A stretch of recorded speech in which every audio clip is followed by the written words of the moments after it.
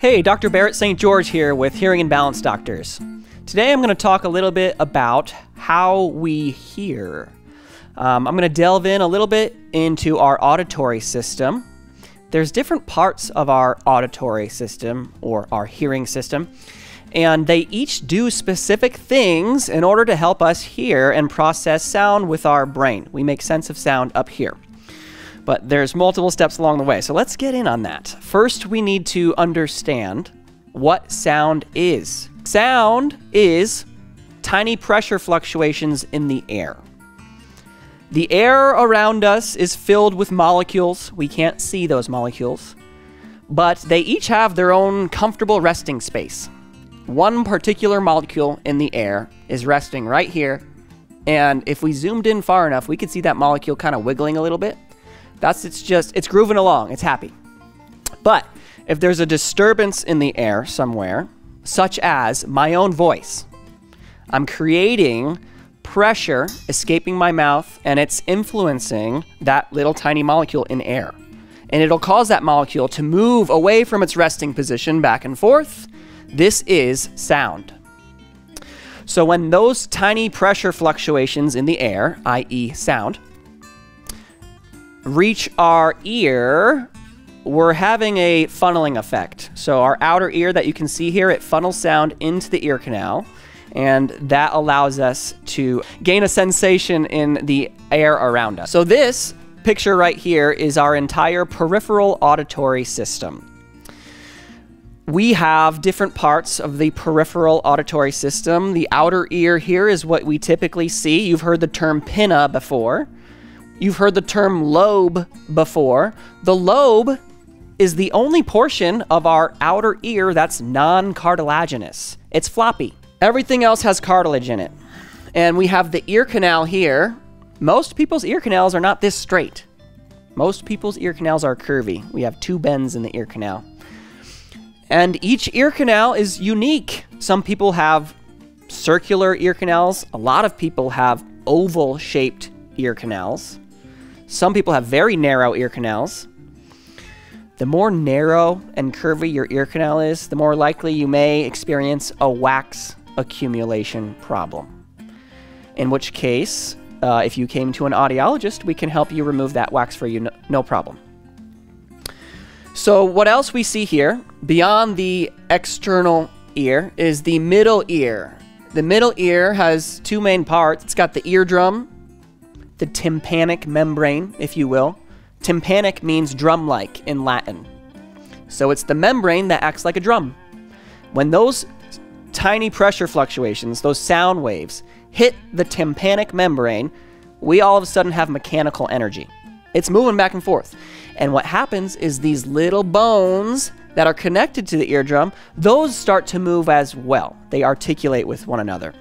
And it enhances that mechanical energy enough to start to move fluid within the inner ear. This whole purple part right here is our sensory organ of hearing, as well as our vestibular apparatus. What does vestibular mean?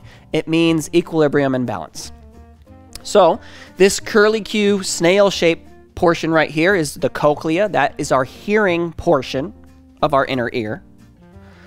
And then these semicircular canals and this area right here is the vestibular or equilibrium portion of our inner ear. Okay? Let's talk a little bit more about our hearing portion. There are thousands of sensory cells in our inner ear, and they ultimately transmit that sound to our hearing nerve, which connects to our brainstem and then allows us to hear with our central hearing system. If we zoom in on that curly Q cochlea, we can unravel that cochlea right here. It's unraveled. Remember, it's filled with fluid. The fluid inside the cochlea is kind of like um, cerebrospinal fluid. These sensory cells, the thousands of sensory cells inside our cochlea, they're called hair cells. They are called hair cells because they have these little stereocilia protrusions at the top of the cell. and they look like little hairs. They're very delicate, but the way they move in response to that fluid mechanical movement um, allows us to hear, essentially. The, the, the movement creates a chemical reaction in the neuron. We have neurotransmitter being released out of the bottom of the hair cell, and it excites the auditory nerve fiber connected to that hair cell. So excite, it means you increase the firing rate. All of these hair cells, all of our thousands of hair cells are connected, individually connected with a, uh, a auditory nerve fiber. Once we have this neural activity routed through the auditory nerve fiber, it's coming up and hitting our brainstem. Where in the brainstem does the auditory nerve hit? It hits at the medulla.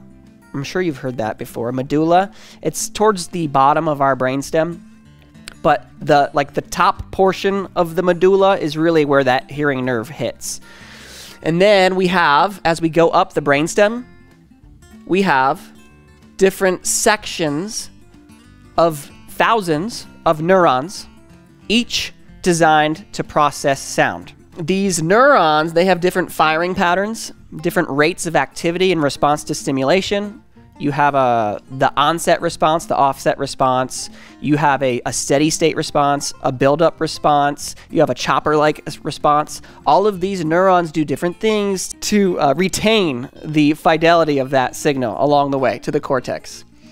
So um, once we get to the cortex, you can see here there's different parts. We have the this section here is the temporal lobe, and then we have the frontal lobe, parietal, we have the occipital lobe. These are all different parts of the brain that do different things. Temporal lobe, the back portion, actually um, is involved in auditory processing. We have this section right here, primarily in the brain, that's processing sound. We have the first area of the cortex that receives ascending auditory sensory information. That's the primary auditory cortex.